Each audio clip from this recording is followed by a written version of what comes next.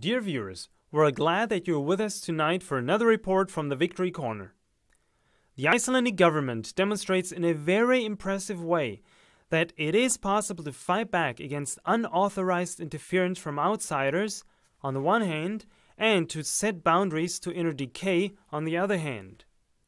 On January 30th, 2013, the Public Icelandic Broadcasting Corporation RUV revealed that during August 2011, eight special FBI agents had landed unannounced in Iceland to carry out some investigations against WikiLeaks. After the Icelandic Minister of Internal Affairs had been informed about this, he gave the local police the order to cease cooperating and the FBI agents expelled from the country with the support of the Ministry of Foreign Affairs. It is unusual for foreign police forces to investigate matters in Iceland, said the Minister of Internal Affairs. How worthy of imitation! The government is even considering formally raising a protest against the US governing authorities.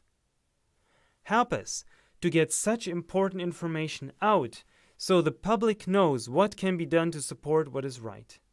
A good evening.